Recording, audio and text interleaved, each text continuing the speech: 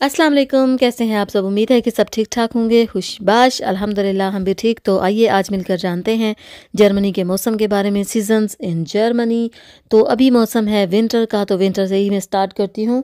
इस विंटर जो है वो दिसंबर से फरवरी तक होता है और टम्परेचर जो है वो काफ़ी हद तक गिर जाता है और मंच मतलब बाजू का तो ऐसे होता है कि टम्परेचर माइनस से फ़ौरन प्लस पर भी आ जाता है। जैसे पिछले दिनों माइनस ग्यारह तक टम्परेचर गया था और अभी जो है नौ पे दोबारा आ गया है मतलब प्लस हो गया है। तो मौसम जो है वो नॉर्मल हो चुका है। पिछले दिनों जो है काफ़ी बर्फ़बारी भी हुई थी और बर्फ़बारी दिखने में जो स्नोफॉल इतनी हसीन लगती है, इतना मज़ा आता है, इतना अच्छा लगता है बहुत पसंद है सबको। तो लेकिन जब सुबह सुबह उठ के जो है अपनी गाड़ी साफ़ करनी पड़ती है, उस पर से बर्फ़ हटानी पड़ती है और अपने घर के सामने से साफ़ करनी पड़ती है स्नो और इसके अलावा जब स्कूल जाते हैं तो इतनी ज़्यादा फिसलन हुई हुई होती है ना तो बड़ी मुश्किल से बच्चे चलते हैं तो थोड़ी बहुत प्रॉब्लम्स भी जो हो, होती हैं, तब जो है वो इतनी हसीन नहीं लगती बर्फ़। तो खैर, थोड़ा बहुत तो होता ही है, बाकी जो है वो यहाँ पर बहुत सारे अदारे हैं जो आके मतलब वर्कर्स आके बर्फ़ हटा के जाते हैं और लेकिन कुछ जगह होती हैं जहाँ पर नहीं नहीं हटी होती तो फिर थोड़ी मुश्किल होती है। तो आ, कभी कभी तो मतलब ज़्यादातर तो नमक वगैरह डाल देते हैं या फिर कुछ वो स्टाइन्स छोटे जो हैं वो भी डाल के जाते हैं ताकि लोग आसानी से चल सकें।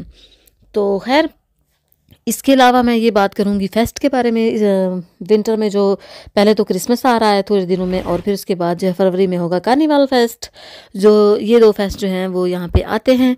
तो इसके बाद हम बात करते हैं समर की, समर जो है वो जून, जुलाई, अगस्त होता है। यहाँ पे टूरिस्ट जो है इस मौसम में बहुत ज़्यादा आते हैं, बहुत ज़्यादा रौनक होती है, और गर्मी जो है ना बहुत ज़्यादा होती है, चालीस तक टेम्परेचर चला जाता है, और ऐसे लगता है जैसे सूरज जो है ना वो हमारे सरों पर बैठा हुआ मतलब इतना पास लगता है सूरज।